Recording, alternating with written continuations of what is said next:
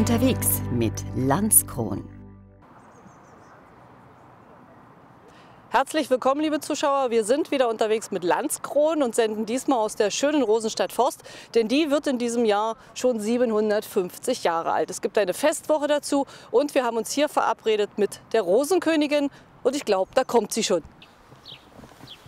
750 Jahre Forst. Ich begrüße ganz herzlich Stefanie die Erste, die Rosenkönigin Hallo. und den stellvertretenden Bürgermeister Herrn Zuber von Forst. Ja, herzlich willkommen. Herzlich willkommen. Ein großes Jubiläum steht bevor. Was ist geschichtlich in 750 Jahren erwähnenswert, Herr Zuber? Ja, vor 750 Jahren ungefähr an dieser Stelle ist die erste Stadtkirche gegründet worden. Ähm, St. Nikolai, dem Schutzpatron der Handelsreisenden und Kaufleute geweiht. Und man hat in Tagesreisen von Cottbus aus genau diesen Ort gewählt, um diese große Handelsstraße auch zu versorgen und zu sichern. Und Schachbrettartig ist das entstanden, die mittelalterliche Stadt. Und genau an dieser Stelle stehen wir heute und wir feiern äh, ja ein großes Jubiläum, das besonders geprägt ist auch durch die Industrie, durch die Textilindustrie. Forst ist eines der größten Textilindustriestädte in Deutschland gewesen. Es wird eine ganze Festwoche dazu geben, zu diesem Jubiläum, in der welche besonderen Dinge passieren werden? Ja, die Stadt feiert 15 Monate seit Oktober des letzten Jahres. Jeder Monat steht unter einem bestimmten Thema. Aber der Höhepunkt ist, äh, den gemeinsam mit vielen Forstern organisiert wurde, die Feierlichkeit vom 9. bis zum 12. Juli 2015. Mhm. Am 9. am Donnerstagabend beginnen wir mit einem ökumenischen Festgottesdienst und am Freitag äh, beginnt so langsam die Einstimmung auf das große Jubiläumswochenende, nämlich unter anderem mit einem großen Festkonzert, mit dem Eröffnungskonzert um 19.30 Uhr mit dem Philharmonischen Orchester mit über 50 Philharmonikern Philharmonikern. Dazu kommen Opernsängerinnen und Opernsänger, die hier auftreten werden. Aber es wird nicht nur Klassik geben, sondern auch gepaart mit Rock. Und wir erwarten die Gruppe Six, die dann gemeinsam auch mit den Philharmonikern auftritt und zu später Stunde nur noch Six auftritt. Am Samstag erwartet Stefanie die erste ihre Prinzen, habe ich gehört. Ja, darauf freue ich mich sehr. Welche Königin kann schon behaupten, Prinzen zu empfangen? Und gleich mehrere. Gleich mehrere, genau. Das heißt, es gibt ein Konzert mit den Prinzen in Forst am Samstag und es gibt zwei Tage auch einen historischen Jahrmarkt. Ja, an beiden Tagen, nämlich am Samstag und am Sonntag, den 11. und 12., äh, ist das ist die gesamte Innenstadt gesperrt. Es gibt viele ähm, Stationen, unter anderem einen historischen Jahrmarkt, der quer durch die gesamte Stadtgeschichte läuft. Zum Abschluss ähm, haben viele Forster im Moment vorbereitet einen großen Festumzug auf zwei Kilometer Umzugsstraße durch die Innenstadt. Äh, kann man sich ähm, beschäftigen mit den einzelnen Bildern aus der Stadtgeschichte, aber es gibt auch viele moderne Dinge, die heute die Stadt äh, prägen. Die kann man dann bei diesem Festumzug sehen. Und am Sonntagnachmittag ist dann der Ausklang mit einem großen Konzert mit Ela Isa, die mhm. wir hier erwarten im Stadtzentrum von Forst auf der großen Hauptbühne. Viele bekannte, nennenswerte Dinge. Und die Stadt Forst hat sich auch noch was anderes Besonderes einfallen lassen. Das Rosenbier mit Landskron, liebe Zuschauer. Und das stellen wir Ihnen gleich vor. So, und ich habe da auch schon was vorbereitet. Natürlich zum Rosenbier eine kleine Verkostung. Denn das Rosenbier, limitierte Edition, gibt es natürlich nur hier in Forst, in ausgewählten Märkten und natürlich im Rosengarten. Ein unfiltriertes Starkbier. Mhm. Eingebraut damals mit der amtierenden Rosenkönigin. Rosenkönigin. Denn Hopfen hat auch so ganz leichte rosenartige Aromen und das passt natürlich wunderbar zu einem schönen Starkbier. Das haben wir damals eingebraut und rausgekommen ist eben dieses wunderbare 6,4%ige Bier Ganz leicht opal, schöne Bernsteinfarbe. Bildschön sieht aus. Hat natürlich eine wunderbare Vollmundigkeit für ein Bockbier. Und einfach mal die Nase belohnen, mal reinriechen. Ja, und da kommt eben erstmal dieser schöne Biergeruch, dann hat so diese ganz leichte Hopfenaromanote und dann so eine ganz leichte Hefenote. Und die Kombination finde ich eben sehr duftig.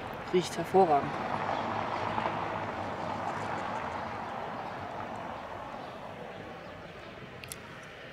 Oh, man merkt, es ist stark. Es ist stark, mhm. es ist auch etwas wärmer, ganz bewusst etwas wärmer gehalten. Dann kommen die Aromen einfach besser raus. Mhm. Und wie gesagt, ist limitiert nur für Forst, ganz speziell für die Region. Der Maibock als filtriertes Starkbier habe ich gelernt. Ein saisonales Getränk, jedes Jahr aufs Neue, sehr lecker bei Landskron. Richtig, ja. Maibock ist eigentlich ein Klassiker, wurde historischer eingebraut als das letzte Bier des Jahres, weil die Kühlung einfach dann nicht mehr gewährleistet war, bevor mhm. man die künstliche Kälte hatte. Und das ist also der Klassiker schlechthin für den Maibock, aber es ist auch ein sehr gutes Bier, auch ein Starkbier natürlich. Genau. In dem Fall natürlich filtriert. Man sieht, es ist kristallklar, hat etwas weniger Alkohol, 6,3 Prozent in dem Fall, aber natürlich eine wunderschöne Vollmundigkeit und unserem Bock dank der klassischen offenen Gärung, hat natürlich eine Besonderheit, nämlich so eine ganz leichte weinartige, fruchtige Note, die sie eben nur mit dem ja, klassischen Verfahren hinkriegen, so wie ein Bock eben sein muss. Hat einen Körper, der Alkohol selber kommt gar nicht so stark chemisch raus, er ist wirklich schön verpackt in diese Aromenvielfalt und das zeichnet unseren Maibock schlicht und ergreifend aus. Gibt es limitiert nur von März bis Ende Juni, Anfang Juli, solange der Vorrat reicht. Also nicht mehr so lange. Prost. Genau. Zum Wohl.